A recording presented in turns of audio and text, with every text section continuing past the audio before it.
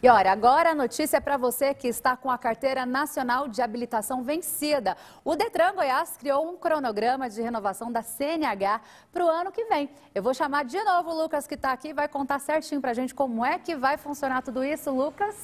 Danusa, só para você ter uma ideia, aqui no estado de Goiás, são mais de 174 mil CNHs vencidas, viu? É muita gente, é muito motorista e muitos circulando no estado com habilitação ó, irregular mas foi estabelecido aí um novo prazo pelo Detran.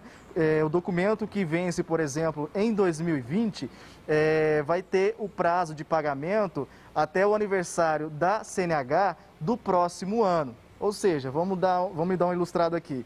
É, a carteira venceu em janeiro de 2020. Ele vai ter até 31 de janeiro de 2021 para fazer a renovação da CNH.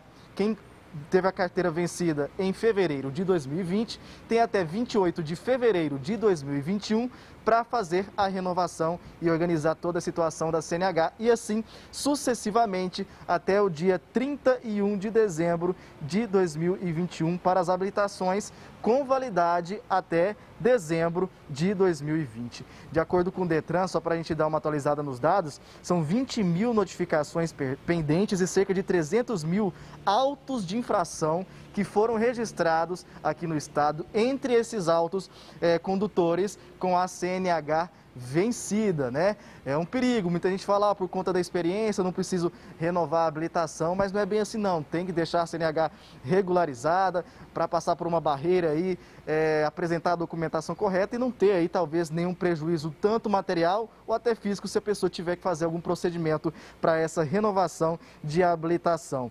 É, o envio das notificações de autuações também mudou, viu?